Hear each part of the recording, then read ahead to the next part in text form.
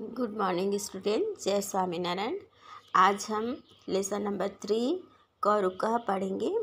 कौरुकह का मतलब होता है निरोगी, है ना? कौरुकह मतलब निरोगी।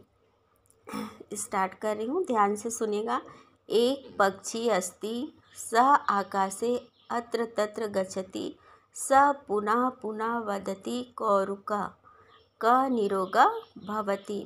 कौरुका मतलब कह निरोगा भवती। एक पक्षी है। वह आकाश में यहाँ वहाँ घूमता रहता है। गच्छति मतलब यहाँ वहाँ इधर उधर आता जाता रहता है।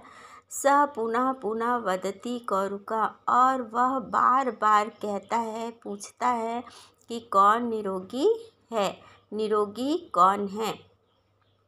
पक्षी द्वारम द्वारम अटति, एक एकम् एवं प्रश्नं पृच्छति जना उपहासं कुर्वन्ति, कोऽपि उत्तर न ददाति, पक्षी निराशा भवति।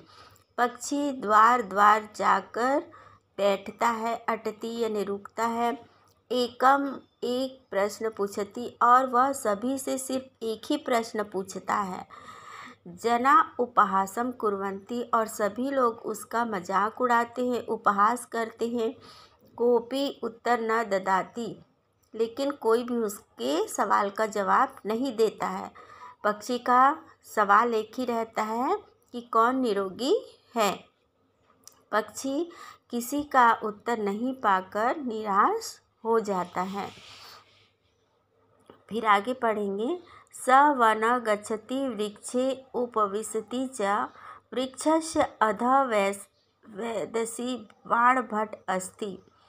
पक्षी पुनः वदति, कुरुकु, कौरुका, इति भट्ट शृणोति। वह वन जाता है, वन की ओर जाने लगता है। वृक्ष उपसति च और एक पेड़ की डाल पर बैठ जाता है। वृक्ष से अधा वैदश्री वाण भट्ट अस्थि वृक्ष के नीचे वाण भट्ट ऋषि जो रहते हैं, वो ध्यान करते रहते हैं, ध्यान करते हैं। पक्षी उनसे पुनः पूछता है पक्षी पुनः वदती कौरुका कौरुका निरोगी कौन है? इति वाणभट्ट शृणोती ये कौरुका का, का मतलब होता है कौन निरोगी है? ये शब्द कौन सुन लेते हैं? ऋषि वाणभट्ट सुन लेते हैं। स वदती हित भूक मीत भूक रीत भूक इति अर्थ अस्ति यह हितकारी भोजनम करती, यह मितम भोजनम करोति। ऋषि कहते हैं, जो हमारे भूख जो है वो हित के लिए हो, मित्र जो है वो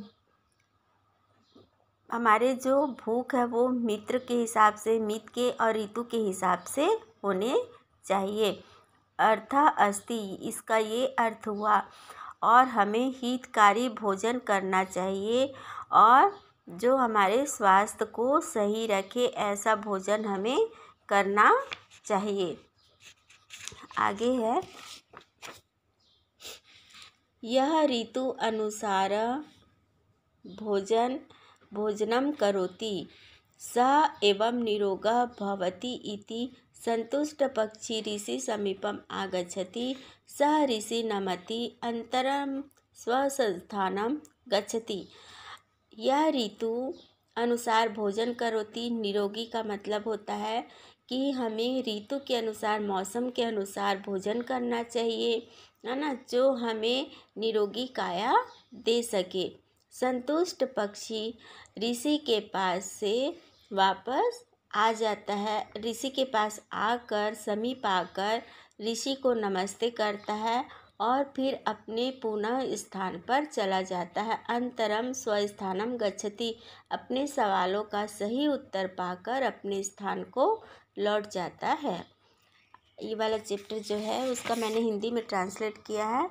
आगे पार्ट में मैं आपको इंग्लिश ट्रांसलेट भी बताऊँगी और हम नोटबुक में भी लिखेंगे। तब तक के लिए धन्यवाद।